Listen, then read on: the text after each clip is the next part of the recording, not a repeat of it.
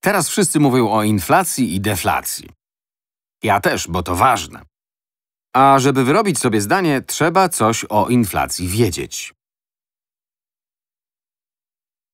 Mam tu zrzut ekranu ze swojego terminala Bloomberg z koszykiem dóbr podstawy wskaźnika CPI. Ten wskaźnik wpływa na wszystko, od oprocentowania skarbowych papierów wartościowych zabezpieczających przed inflacją, poprzez wysokość i szybkość wzrostu zasiłków, po umowy związkowe i emerytury. Ten koszyk dóbr mówi, czym jest inflacja. Przeglądając go, możecie porównać własne wydatki z wydatkami typowego, zdaniem rządu, gospodarstwa domowego. Rząd mówi, że typowe gospodarstwo domowe wydaje 15,7% swojego dochodu rozporządzalnego, czyli kwoty, którą zabieracie po odprowadzeniu podatków, zatem 15,7% idzie na żywność i napoje. Sensownie. A jeszcze ciekawsze są podzielone wydatki. Bardzo szczegółowo. Urząd Statystyki chce określić, ile wydajecie na jajka, ryby, drób, pieczywo. I dobrze, bo na przykład wszystkie ceny są stałe. Tylko cena jajek rośnie, ponieważ dieta Atkinsa wróciła do łask. Wtedy mamy podstawy do określenia, dlaczego inflacja idzie w górę, albo nawet czy jeszcze pójdzie w górę. To ciekawe. Jeśli zerkniemy na główne kategorie żywność i napoje, mieszkanie wrócę do tego, bo to bardzo ciekawa dziedzina. Mieszkanie stanowi dużą część CPI.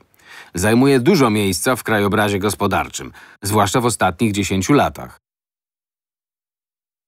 Teraz to istotny element przyczyniający się do kryzysu. Wydatki na mieszkanie pochłaniają 43% dochodu rozporządzalnego. Odzież 3%. Transport 15%. To obejmuje pojazdy nowe 4%, używane auta osobowe i furgonetki. Obliczają to, zastanawiając się, jaki procent Amerykanów jeździ nowymi autami, a jaki starymi. Doliczają też paliwo. W rozmowach o inflacji i deflacji często słyszę argument, że Chiny i Indie będą się rozwijać dalej, więc ceny ropy naftowej, paliwa będą rosnąć. Wcześniej mówiło się o tym więcej, ale teraz też pada ten argument. W kraju rozwiniętym paliwo silnikowe, chociaż kosztuje, to nie stanowi wielkiej części waszych wydatków całkowitych. Zwłaszcza w porównaniu na przykład z mieszkaniem.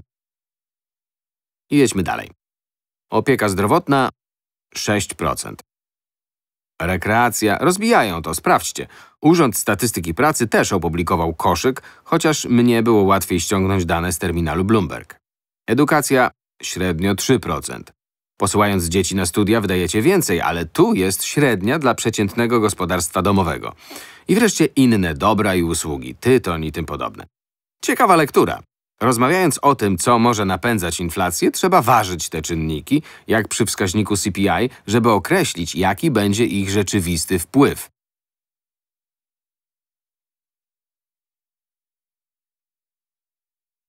A teraz Zauważcie, że najwięcej pieniędzy idzie na mieszkanie. To sensowne. Mieszkanie pochłania duży procent dochodu rozporządzalnego większości osób, zwłaszcza w społeczeństwach zachodnich. Jeśli mieszkacie w kraju trzeciego świata i jest wam ciężko, to gro wydatków pochłonie żywność. Może dom też, jeśli go zbudowaliście. A w społeczeństwach rozwiniętych mieszkanie pochłania lwią część. Omówię pewien często poruszany temat. Misz z Global Economic Analysis prosił, żebym to wyjaśnił. Mieszkanie jedni wynajmują, inni kupują. 6% wagi całego koszyka stanowi czynsz, a 24-25% coś, co nazywają właścicielskim ekwiwalentem opłaty za wynajem głównego miejsca zamieszkania. Tak próbują zmierzyć, ile wydają na życie właściciele domów. Co ciekawe, wychwyciliście to pewnie, mówią właścicielski ekwiwalent czynszu. To obecna metodologia. Nie pytają o raty kredytu hipotecznego. Nie pytają, ile kosztuje was kupno domu i jego amortyzację w jakimś sensownym okresie.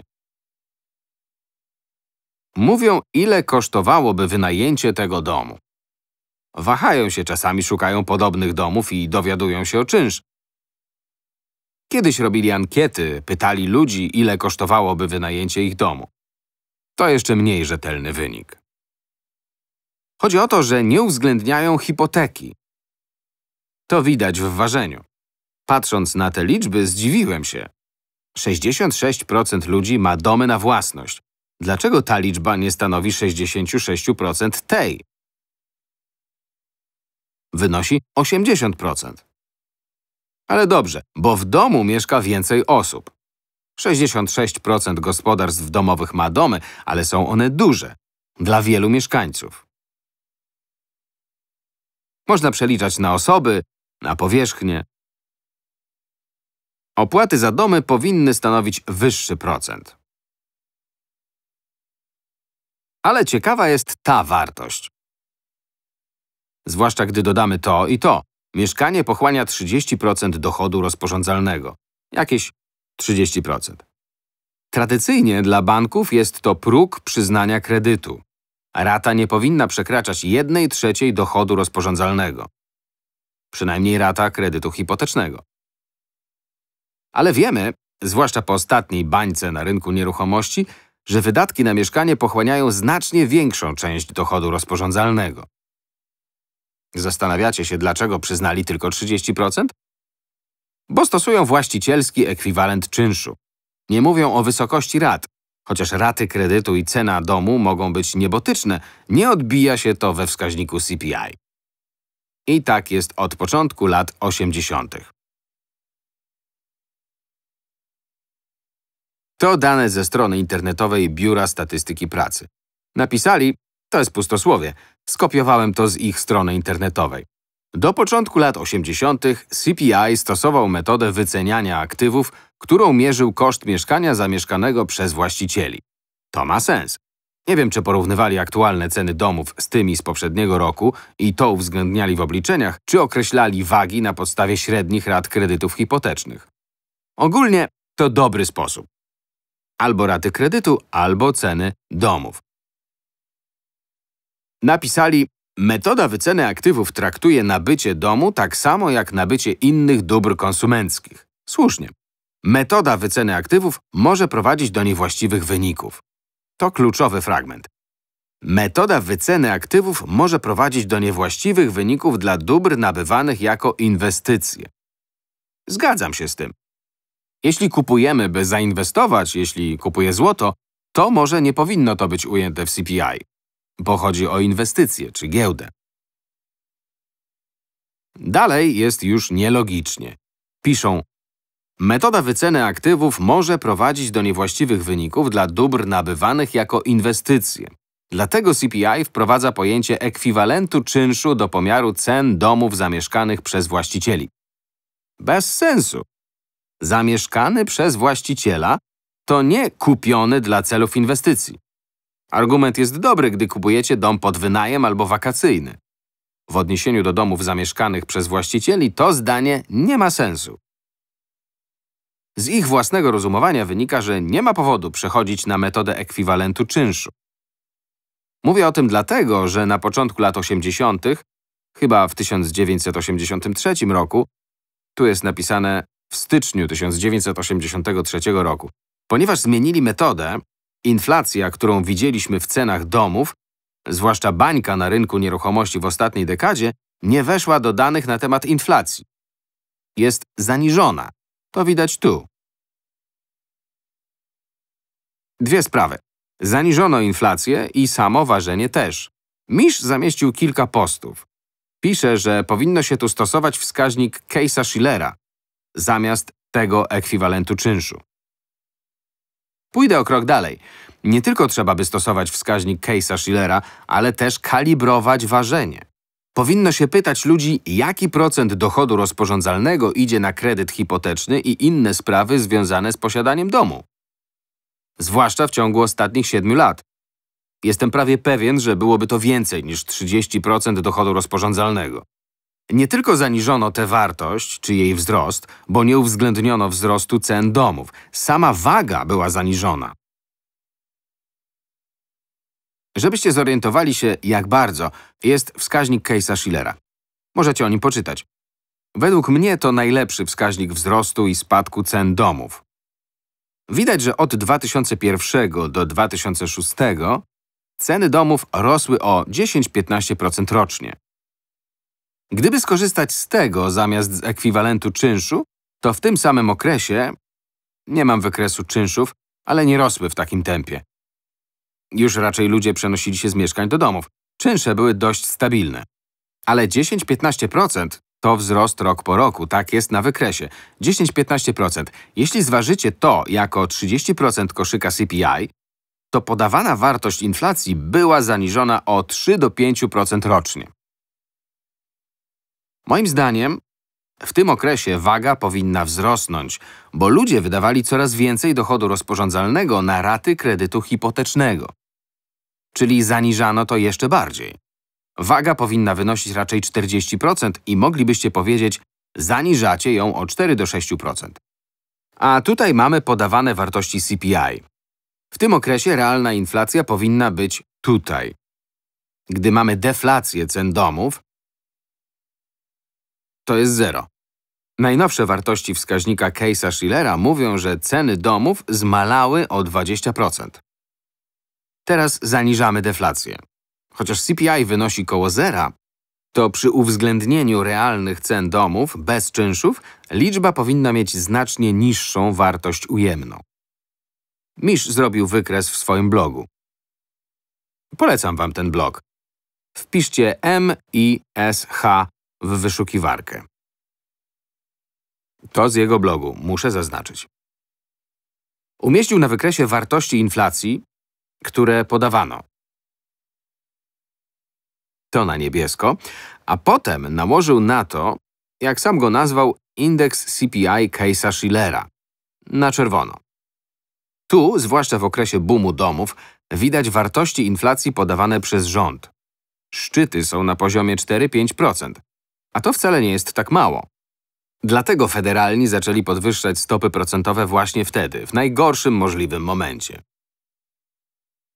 Spójrzmy na CS-CPI, czyli CPI Case'a Schillera. Widać, że realna inflacja osiągnęła szczyt. Zobaczmy, na poziomie 8%. Jeśli to była wartość rzeczywista, której używali federalni, to było to skuteczne narzędzie polityczne, bo w styczniu 2003 roku inflacja podskoczyła. Wiedzieliby, że ich polityka pieniężna tu była zbyt swobodna. Mogliby uniknąć efektu jak w 2007 i 2008.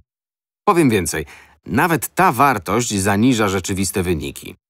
Tutaj wziął wartości CPI i podstawiał kolejne lata do tego samego ważenia, co obecne wartości CPI.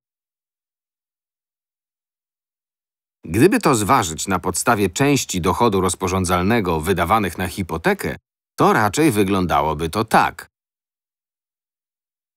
Zobaczylibyście skok inflacji na poziomie 10-11%. Dużo się mówi o potencjalnych przyczynach. Jeden argument głosi, że dużo rządowych, a nawet korporacyjnych pasywów indeksuje się ze względu na inflację indeksuje się ze względu na inflację.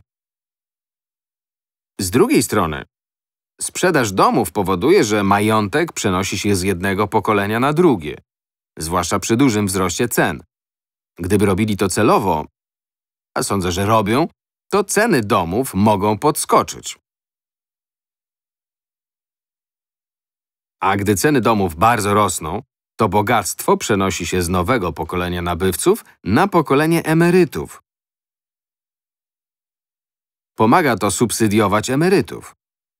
Jednocześnie, wyłączając to z indeksu CPI, utrzymujemy rządowe i korporacyjne aktywa na niskim poziomie.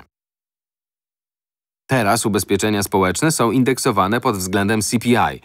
Jeśli więc wartości CPI nie rosną tutaj, nie musicie podwyższać ludziom zasiłków. Za to wciskacie im kit. Po uwzględnieniu inflacji radzicie sobie lepiej niż pokolenie waszych rodziców. A przy okazji teraz stać was na jedną trzecią domu. Propagowano to. Teraz wszystko się zmienia. Zapamiętajcie jedną informację. Indeks CPI to narzędzie stworzone przez rząd. Opiera się na badaniu rynku, a ankiety zmieniają się przez lata. A to znacząco wpływa na prawdziwe wartości.